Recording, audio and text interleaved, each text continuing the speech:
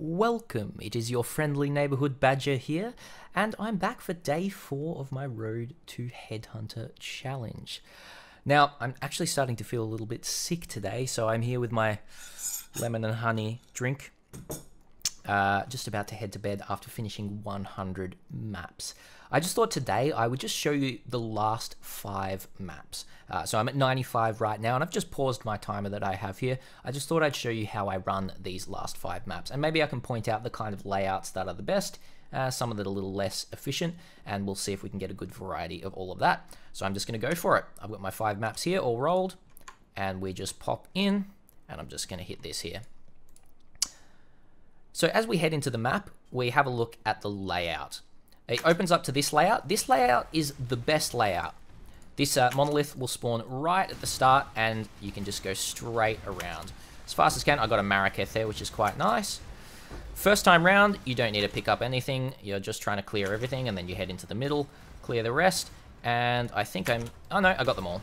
And then you go back around, start clearing it all. Now the one thing about alleyways is you do run into a few uh, little things around the place, uh, as you're noticing. And I'm just starting to pick everything up here. And we're heading down here. Alright, and an alleyways map back for the return, which is quite nice. And you'll notice there's quite a few little things dropping here. This is not a bad run for this uh, map. Quite good income, especially with those Maraketh.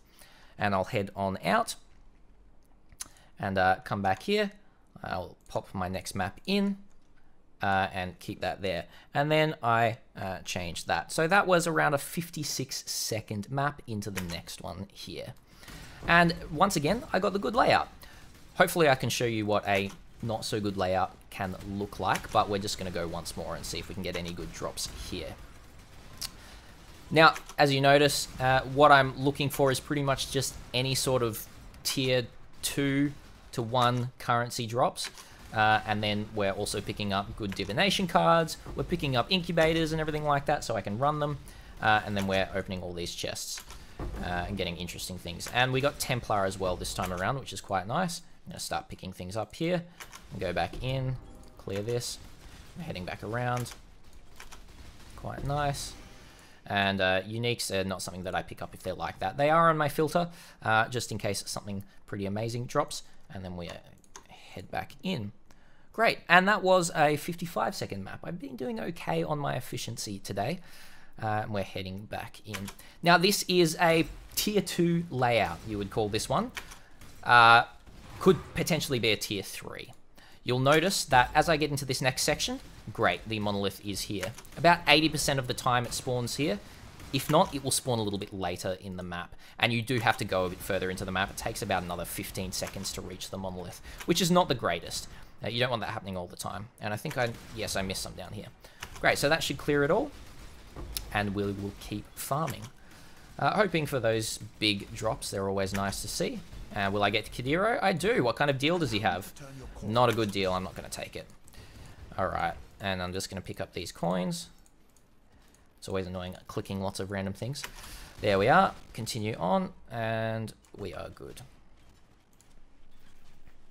All right, a couple more maps to go. Let's see if we can get another one of the uh, bad layouts. That map was a little longer at 1 minute 2 seconds. Uh, we're heading back in here and going for it. We got another good layout. I'd like to show you what the uh, tier 3 layout looks like. Um, Alright, let's go back around. And another Maraketh, which is quite nice. We do like the Maraketh because they drop splinters which are worth more than a Chaos each. Quite nice. Alright, so just about to clear this. I think I missed a couple of stragglers up here, but it's about to end anyway. Now, some people will be thinking, oh, you know, my Vaal Ice Nova is a little bit more efficient than this, uh, and uh, Glacier's is as well. Look, again, it's not quite the point what I'm doing here. This isn't the most efficient build, but it's really fun to play. I enjoy this uh, more than I do enjoy something like a Vaal Ice Nova. Uh, a little bit more hands-on and everything like that. That's pretty much it with that map. I'm just going to pop right back out now. Now onto this last map. Let's see if we can get something interesting. And that was a 57 second map. Heading back in. Uh, loading into the map. Okay, we do have a potential uh, tier 2 and maybe a tier 3 map here. Uh, pick up this map. Uh, it is tier 2, so we've got the monolith right here. Great, and we'll open it right up. Clear everything. Heading around. I have not hit any generals in these five maps. Honestly, the only general that I ever kill is the Maraketh general. The Templar general just takes a little bit too long to kill uh, for what it's worth with getting those splinters. Uh, Maraketh, though, very much worth. He drops anywhere from like 6 to 12 splinters, and that's a oh, bit of lag here. Uh, this happens sometimes in the Australian realm, and I'm sure in your realm as well you will know. So let's see if we can wait for this. Doesn't look like it, everyone. So I'm just going to sit here and say that's pretty much the it of this, uh, the end of this showcase, I should say. Um, if you want to do anything like this, it's quite easy to do. Uh, as as I said, you just go your maps, go for it just as fast as possible, uh, and uh, clear everything. Um, I'm also this time I'm going to put the link to the filter blade that I'm using, uh, uh, so you guys can have a little look at it. It's fairly simple. Um, it's just the uber strict never sync with a couple of changes.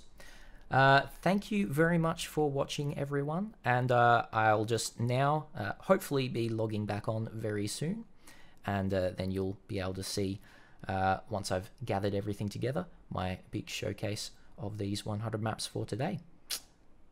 Badger, out.